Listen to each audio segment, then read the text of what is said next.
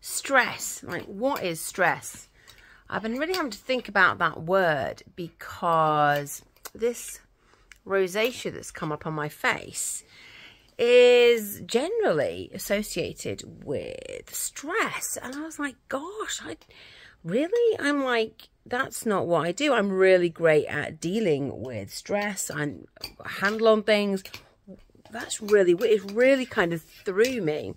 Um, also, you know, not understanding about you know metaphysics and stuff to understand that the reason we our face alters um, like this is because we're afraid of being seen, we're maybe being vulnerable, and it's like masking us almost.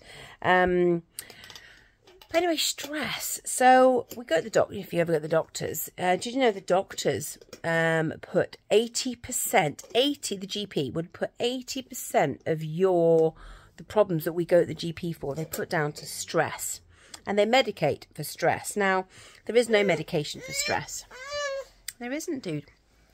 But doctors put 80% down to things down to stress. In fact, there is only like I think 5%. I mean, the things that could actually be wrong could fill a little notebook and yet it's always stress and here's a pill for it. So stress is the symptom of a problem as we know. Um, but even the, symptom, the, the problem that causes stress is still a symptom because st stress is kind of so far down. It's such a huge, all-encompassing word. But what is happening to your body? Okay, so what what is basically the stress hormone? Stress hormone is cortisol. So really, if you want to kind of physiologically reduce stress and thus reduce the the results or the symptoms of stress, the first port of call would be to reduce cortisol. Um, now that is also um, now cortisol is also quite um, it's naturally um, goes quite well with testosterone. It's sort of a masculine emotion, stress. Um, and it can do other things to our body, like retain tummy fat. Did you know that? It can also keep tummy fat.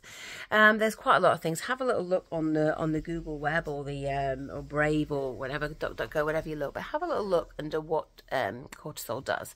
But it's a stress, it's the the stress hormone. So if you can reduce stress, you can reduce a lot of the symptoms of stress. Now, do you know one of the most incredible, most effective ways of reducing stress? First of all, it's moving. It's actually creating motion in your body, moving, moving things around your body. And then it's the elimination of the stories and the beliefs that are running your life. So if you can actually get your body moving and see how your brain is talking to you with the beliefs you're running and the stories you're telling. And you can change the beliefs, see them, shift them, change them, and get your body moving. Your stress will come down. And like I say, 80% of the reasons people visit the doctor, the doctor puts down to stress. Um, and it's huge amounts. Really? You stress? a huge amount of the feelings within you, like the busy brain, like the, oh my God, the kids are getting, uh, the kids are getting crazy. All that is stress hormone building up and stress creates more stress. And what else happens when the cortisol goes up? Do you want to know what happens?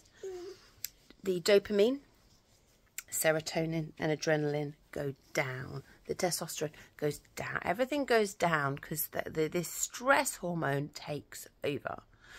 So if you have got a busy brain, if you're feeling stressed out, strung out,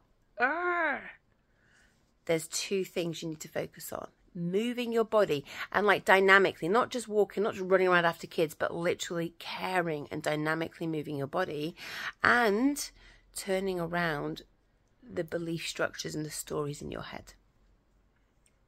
Can I just, a side note, that's what I do.